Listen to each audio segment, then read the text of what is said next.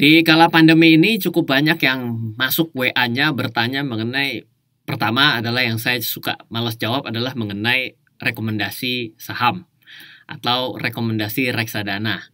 Itu saya paling malas jawabnya. Tapi yang tidak kalah banyaknya yang masuk ke WA saya itu bertanya mengenai saya ingin investasi, tapi saya tidak tahu mesti mulai investasi yang mana. Dan saya nggak tahu apakah uang saya sekian itu cocok untuk investasi yang mana. Karena sudah cukup banyak pertanyaan-pertanyaan seperti itu dan tidak mungkin juga saya harus jawab satu persatu karena akan sangat bervariasi sekali mulai dari uangnya, mulai dari ke tingkat pemahaman dan kemungkinan pasti juga ada yang ngerti mengenai beli properti tapi nggak ngerti bagaimana cara beli saham, ada yang biasa beli saham tapi juga nggak biasa membeli yang lain. Maka saya kira saya ingin membuat satu panduan baru di mana topik kali ini yang kita akan bahas adalah panduan memilih investasi bagi pemula lengkap dan saya akan berikan step by step sehingga Anda bisa memilih dan ini adalah edisi Agustus tahun 2020.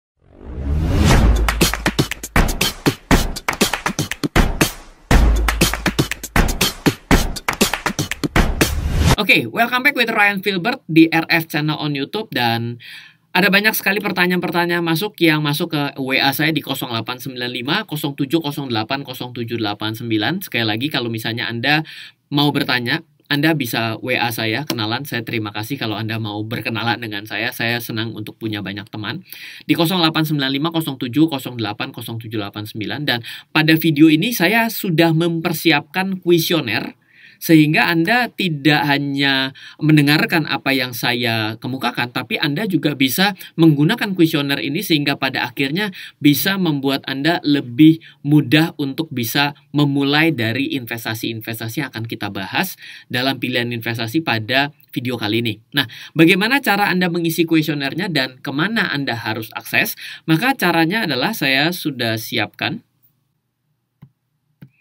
Pertama kali bagi Anda yang benar-benar belum mengetahui diri Anda sendiri berada di investasi yang mana yang tepat ataupun yang cocok dengan kondisi Anda, maka saya sudah mempersiapkan kuesioner yang bisa Anda isi sendiri, yaitu Anda akses di googl.my.id garis miring kue invest K U E I N V E S T silakan Anda akses dan akan muncul seperti yang ada di layar Anda. Silakan Anda masukkan alamat email, lalu karena kalau alamat email yang Anda masukkan salah, maka Anda tidak bisa mengakses lagi untuk kuesioner yang sudah Anda isi, maka Anda silakan masukkan agar terkirim jawaban dari kuesioner ini ke dalam email Anda sehingga sewaktu-waktu Anda bisa buka kembali. Anda masukkan tentunya nama dan juga nomor WA. Lalu silakan Anda masukkan jawabannya dengan setiap soal itu Anda memilih satu dari empat jawaban yang paling mendekati dengan kondisi Anda.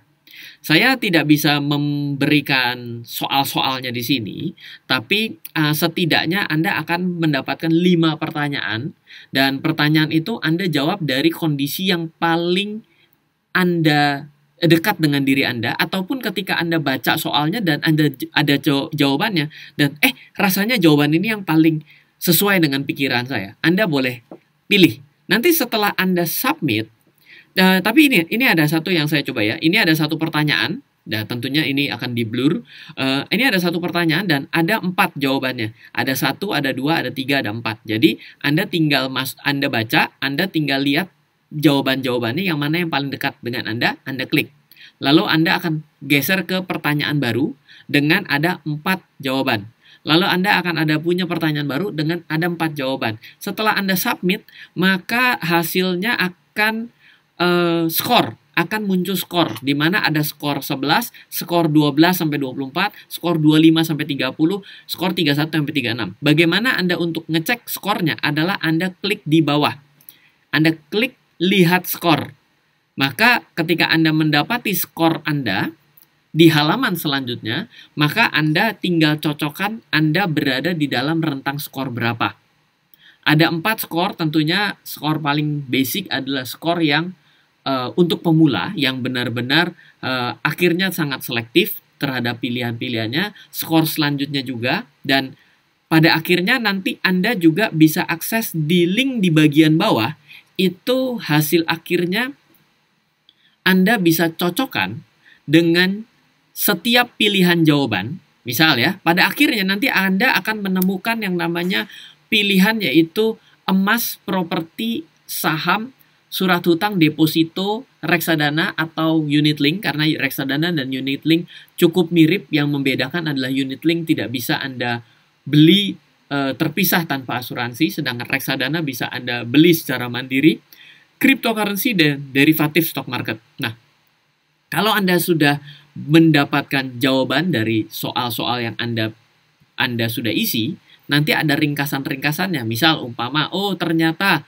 uh, untuk pilihan soal pertama di mana Anda balik lagi ada soal pilihan pertama, Anda menjawab A.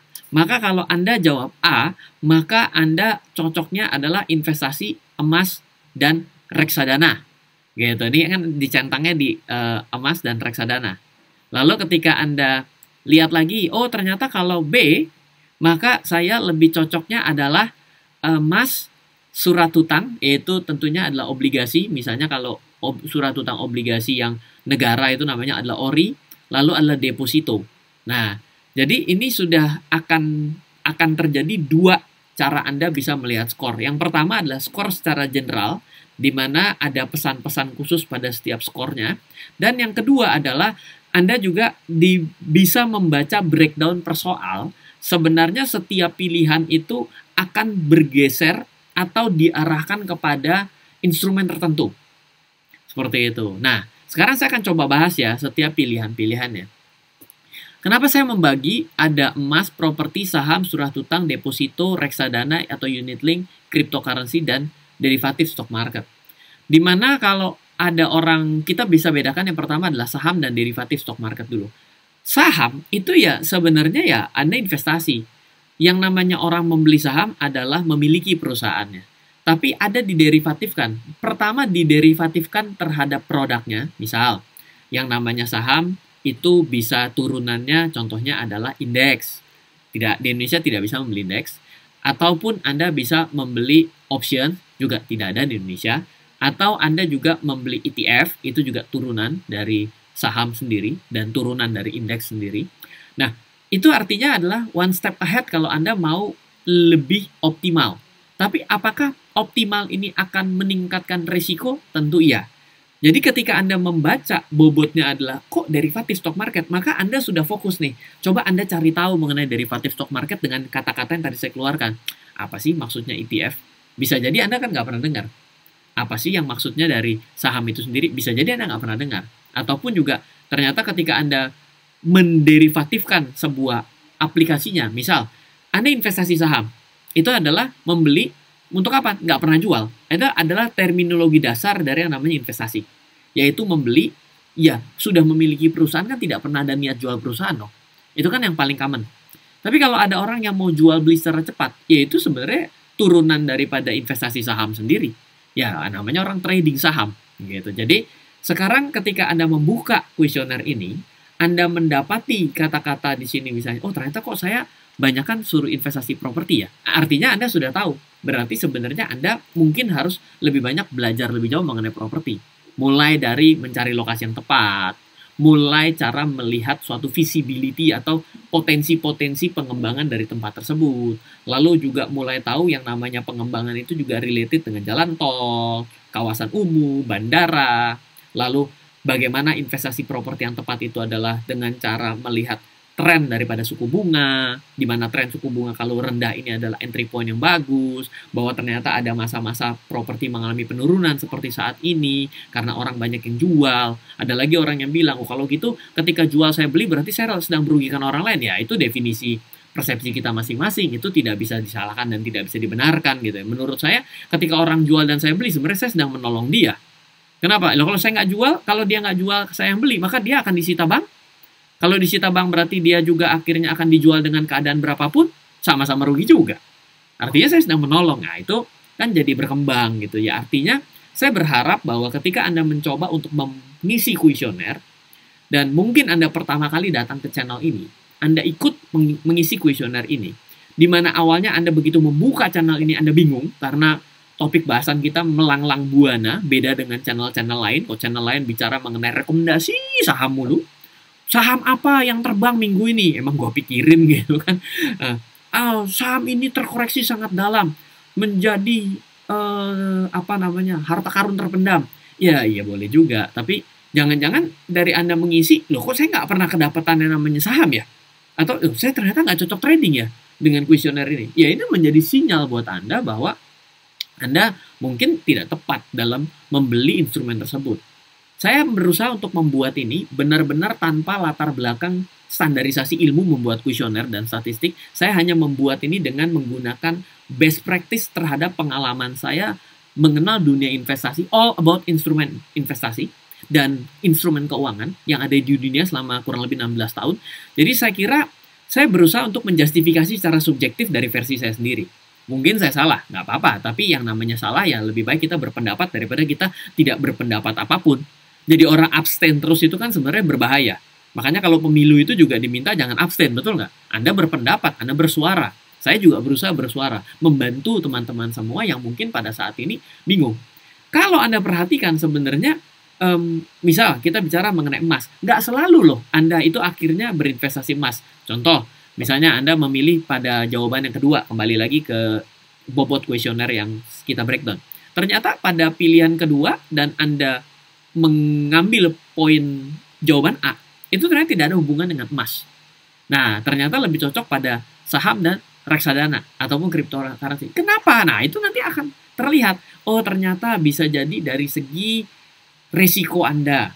Ternyata dari segi Anda ini lebih melek teknologi. Jangan lupa loh, investasi itu juga disesuaikan dengan kondisi dan wawasan Anda. Kalau Anda memulai dari yang wawasannya sangat jauh, itu akan sangat sulit Anda mengejar. Jadi harus yang paling dekat dengan Anda. Orang yang hari ini mungkin lebih melek teknologi sebagai seorang programmer, mungkin lebih tepat untuk berinvestasi pada cryptocurrency. Bisa jadi dong. Kenapa? Karena itu lebih mudah dia bayangkan. Oh, cryptocurrency itu based on blockchain. Oh, blockchain itu apa? dia lebih mengerti dibandingkan orang yang megang handphone pun buka WhatsApp bingung. Ini gimana caranya tadi buka WhatsApp? Wah, itu kan artinya jauh sekali. Boro-boro mau ngomongin cryptocurrency gitu. Atau jangan-jangan dia mau menggunakan token internet banking, dia bilang, oh token ini nggak tepat untuk dipakai. Nah, itu akhirnya akan memisahkan instrumen investasi yang cocok bagi si A dan si B. Nah, lalu juga misalnya dengan surat utang. Kenapa juga dengan surat utang? Surat utang itu membutuhkan suatu kepastian. Tidak seluruh orang menginginkan kepastian. Kenapa? Karena dia menginginkan justru ketidakpastian. Kenapa? Ketidakpastian itu menyebabkan harganya gampang naik. Contoh, investasi saham itu ketidakpastian. Membeli emas itu jangan melulu mengenai kepastian loh. Ketidakpastian akan naiknya. Tapi kepastian akan barangnya, tapi kepastian untuk bisa mengalahkan inflasi, kepastian barangnya akan selalu bernilai. Iya enggak? Kalau saya bilang saham sama emas itu mirip. Dari segi apa? Pergerakan harganya. Apakah Anda yakin bahwa emas dalam 10 tahun ke depan pasti akan naik? Oh, pasti naik, Pak. Nanti dulu. Kalau ada orang yang beli tahun 2012 dengan menggunakan satuan standar emas dunia, maka dengan tahun 2020 harganya baru berkifat. Tapi kalau dia hitung dengan nilai dolar, mungkin betul karena dia beli dengan dolar 9.000 dan pada saat ini 14.000 ada kenaikan betul. Tapi notabene dalam 10 tahun harganya nggak ke mana-mana. Berarti yang namanya kepastian dari segi harga belum tentu. Tapi kalau misalnya emas ditukar dengan barang, yes, hari ini ditukar dengan barang apa pun tetap bisa. Emas dibawa ke mana pun tetap tetap disebut dengan emas. Anda pergi kalau bawa saham di Indonesia, ah, saham ini dibawa ke Amerika, nggak ada nilainya. Ya mungkin ada juga nilainya, tapi tidak se tidak segeneral dari emas sendiri. Nah, jadi sebenarnya ketika Anda membaca kuesioner ini dan Anda membaca perjawaban dari kuesioner, misalnya Anda membaca oh ternyata ada dan setiap jawaban itu ada pesan-pesannya ya. Ada soal, ada jawaban dan ada tanggapan. Saya sudah membuat komen-komennya juga. Misalnya contoh ya ini, apakah Anda bla bla bla bla, saya paham bla bla bla. Tanggapannya nice, sudah lebih maju dengan prinsip peer to peer ya. Nah, jadi ini adalah sesuatu yang saya komen langsung, tapi setelah itu Anda juga lihat jawaban untuk soal ini itu sebenarnya lebih mengacu kepada instrumen investasi apa sih? Nah, dengan Anda mengisi kuesioner ini, membuat Anda juga lebih fokus dalam mau belajar. harapan saya. Kenapa? Karena orang selalu bertanya, apa investasi yang tepat untuk saya? Investasi yang tepat itu semua investasi tepat selama diinvest di waktu yang tepat. iya dong. Ada orang yang beli cryptocurrency Bitcoin di 200 juta hari ini nangis Bombay. Ada orang yang beli cryptocurrency di 8 juta. Saya beli di 8 juta.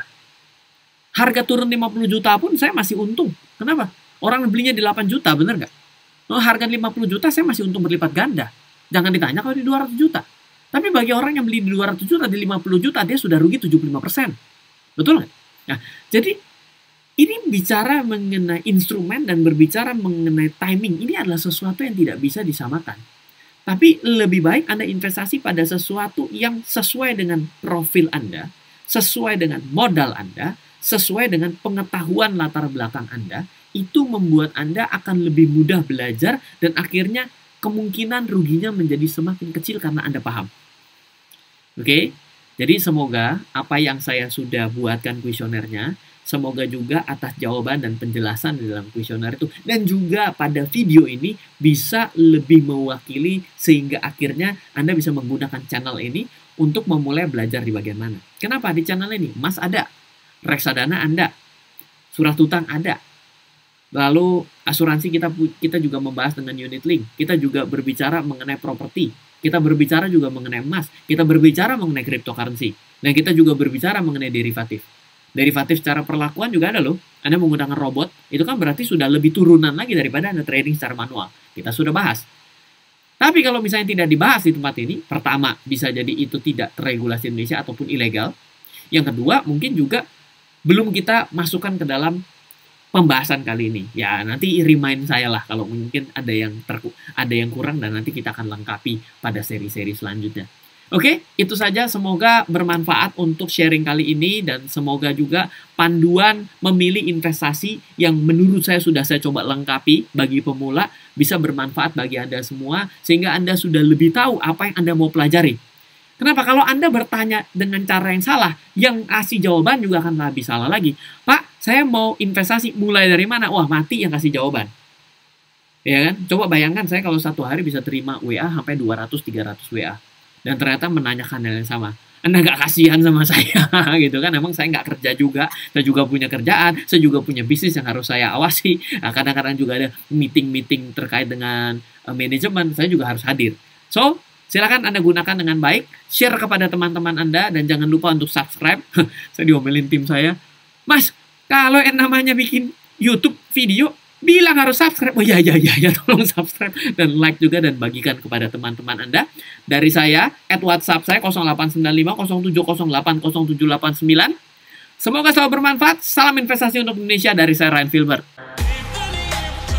Terima kasih Anda telah menyaksikan RF Channel, sumber informasi dan inspirasi kecerdasan finansial, bisnis, dan strategi investasi oleh Ryan Filbert dan tim.